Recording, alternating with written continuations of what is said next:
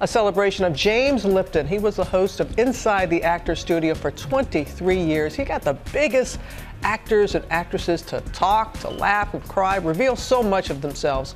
Tributes continuing to pour in this morning, and Chris Connelly joins us now from LA. Good morning, Chris. And good morning, Robin. As an erudite interviewer of performers, directors, and creators of film and TV, James Lipton elicited answers that brought fresh insights into their craft, their careers, and sometimes their hearts. From Jennifer Aniston to Will Smith.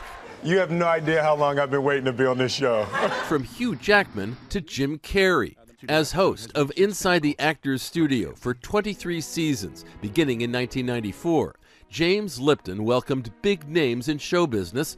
What brought you here? For thoughtful, unhurried conversations that took viewers inside the creative process. I promised myself that it would be about craft and not about gossip. Bolstered by index cards and encyclopedic preparation. Did you appear in any of the uh, plays at the Resurrection Baptist Church? Oh man, you did some real homework over there. His Q&As would also provide a permanent record of some who've since passed on such as Paul Newman and riotous Robin Williams, whose time in the chair was an anarchic delight. Uh, what took you from Chicago to Detroit? A plane? the show's success on cable made Lipton himself a celebrity, his lofty tone affectionately parodied by Will Ferrell in this classic SNL sketch. It is delightful. Taught acting in the 1950s by the great Stella Adler, Lipton would go on to serve as the dean of the Actors Studio Drama School.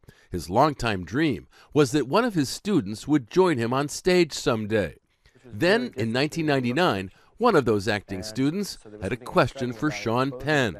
It was a young Bradley Cooper. Hey, Mr. Penn. Uh, my name is Bradley Cooper. I'm a second year actor. My question's regarding Hurlyburly. What was it like to revisit a character, Eddie, after a 10 year hiatus? Did you have new discoveries? Did you find that um, it was a different approach because you had already done this character before. Whose subsequent appearance on the show 12 years later, in 2011, sparked an outpouring of grateful emotion. Who was your basic technique teacher?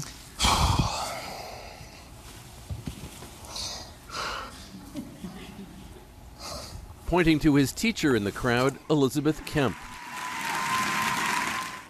I was never able to relax in my life before her.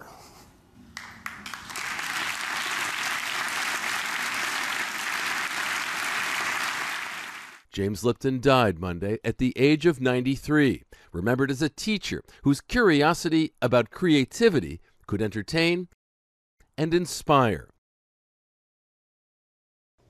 And among those paying tribute to James Lipton on social media, Oscar winner Barbra Streisand, who tweeted he was interested in the actor's process, which was so refreshing. Game recognizes game, guys. Yes, sure indeed. Does. Boy, it really does. Thank you, Chris, for for sharing that. He was something special. And I understand in the business we usually do pre-interviews. You talk to the person ahead of time.